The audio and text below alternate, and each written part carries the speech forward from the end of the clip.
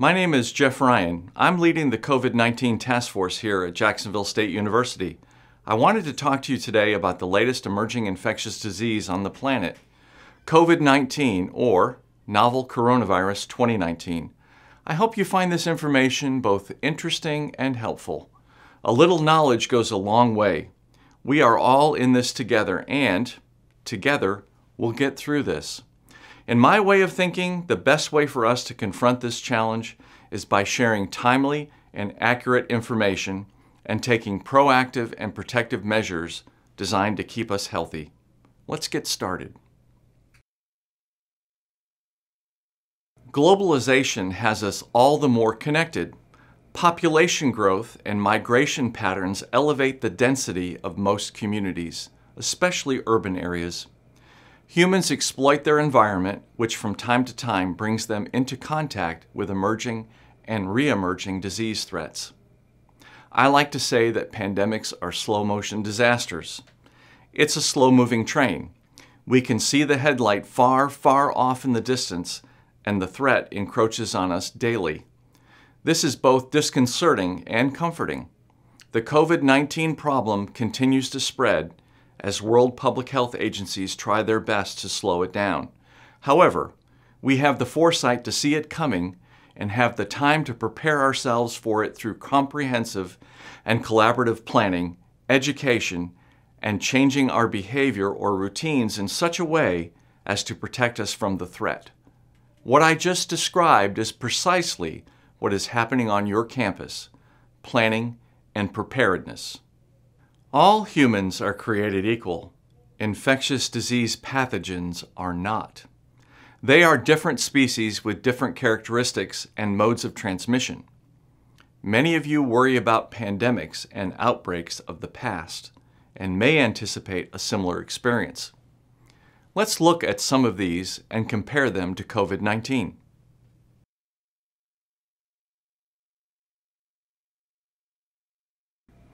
We've all heard about the Black Death of the 14th century.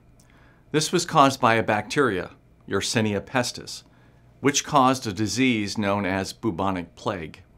It resulted in the death of approximately one third of Europe's population. In the 1500s, the Aztec Empire was wiped out by the introduction of the smallpox virus to their villages. There have been four influenza pandemics over the past 100 years. I'll touch upon those later. Then, we'll also look at SARS and MERS, which were caused by novel coronaviruses. First, the Spanish flu of 1918. To me, the 1918 Spanish flu was the most notable pandemic in the post-industrial age. This appeared during the First World War at a time when U.S. troops were moving by ship across the ocean. The Sedition Act of 1917 made it a crime in the United States to share any information that might be derogatory to the well-being of U.S. troops and government officials. In essence, this kept a lid on the fact that the United States and Allied troops were experiencing great losses due to an unknown illness. Since Spain was not at war, stories of people dying in droves were being shared with the world. Hence, the 1918 pandemic got its name as the Spanish flu. World War I troop movements and concentration of soldiers contributed to spread and lethality of the disease. When all was done, an estimated 50 million were dead.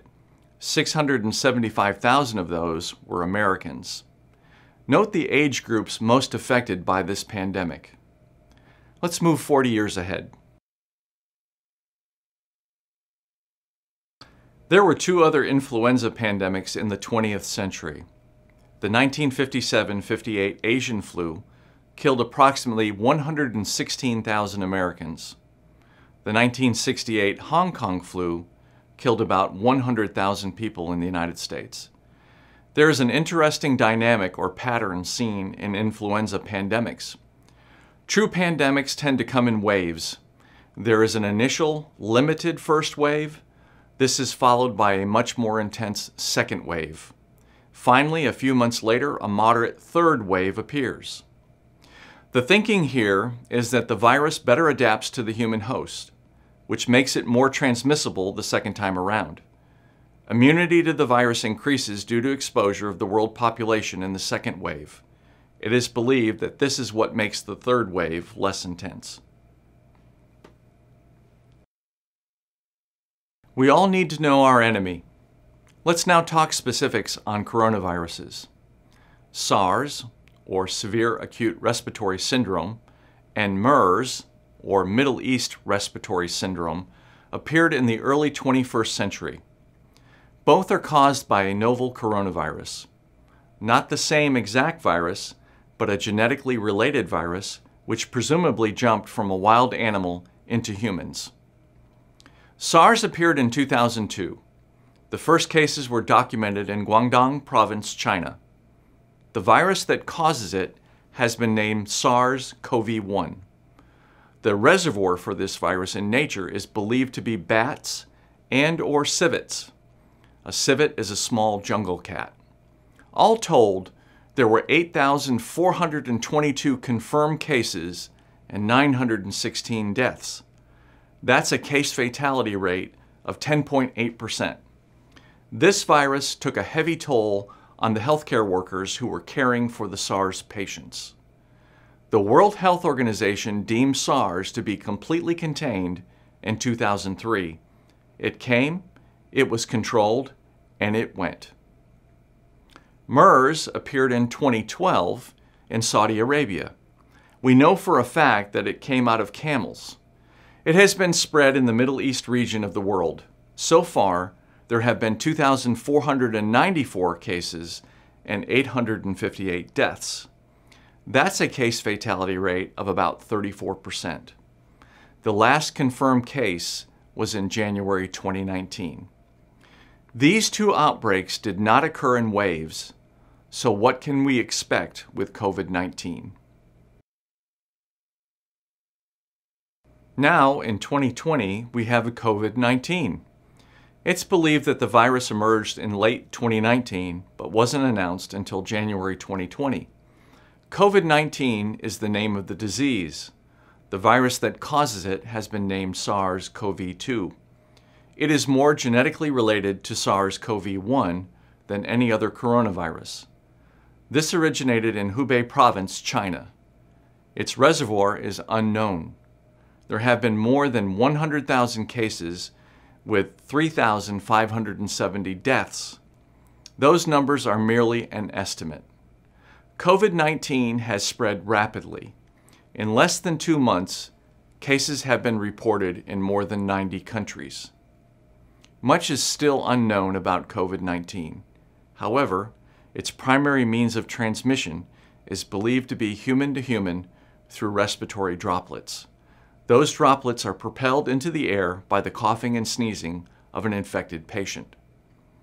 So far, it looks like roughly 80% of the cases are mild. Those infected remain at home and get better on their own. Roughly 15% of case patients will be seen by a doctor and receive treatment to improve their condition. About 5% of patients will require hospitalization. Those most affected are the elderly especially those patients that have an underlying health condition.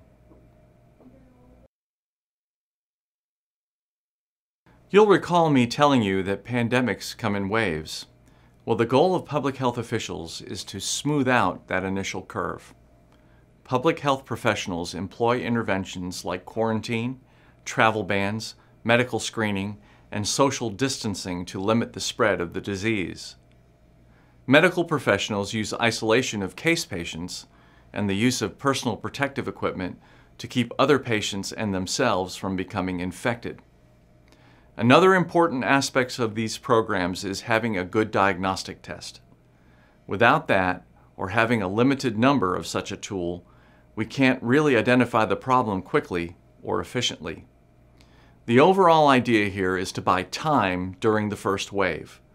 This will lessen the impact on our medical systems, our economy, and other community entities. The time we buy here may give us a good vaccine or antiviral treatment that makes subsequent pandemic waves more manageable. The faculty and staff at JSU are committed to giving you a safe learning and living environment. Let's look at the timeline of how COVID-19 is encroaching on our campus. Initial word on novel coronavirus out of China on January 12th. The first U.S. case was on January 20th. This was due to an American citizen traveling back from China. JSU began planning and preparedness activities on January 26th. The first cluster or hotspot of cases occurred in a nursing home in Seattle. It was discovered on February 29th. Sometime in late February, two Americans from Georgia returned from Italy. They both became ill with flu-like symptoms and shortness of breath. They reported to a hospital on March 2nd.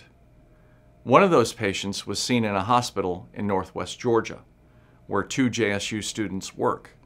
Those students were notified on March 6 that they were to go into self-quarantine for 14 days. The same thing was told to dozens of other workers at the hospital. In just 57 days, the problem went from China to northwest Georgia. You may have read many different things about COVID-19. It's real, but there is no need for any of us to panic. Our goal is to keep you calm and cooperative. We'll do this through the sharing of accurate and relevant information. That information will make you more knowledgeable and able to make the best decisions for you, your family, and your friends. I can't predict the future, but I can assure you that our world has faced threats that are far, far more serious than COVID-19. This is not the Black Death, or Spanish flu.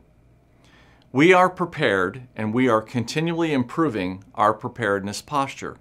You too can do the same. No matter if you are a student, a member of the faculty, or a staff member, we all have an obligation to care for ourselves and be responsible adults. I've put together another short video for you to get some ideas on how to do this. My hope is that you find this informative and useful.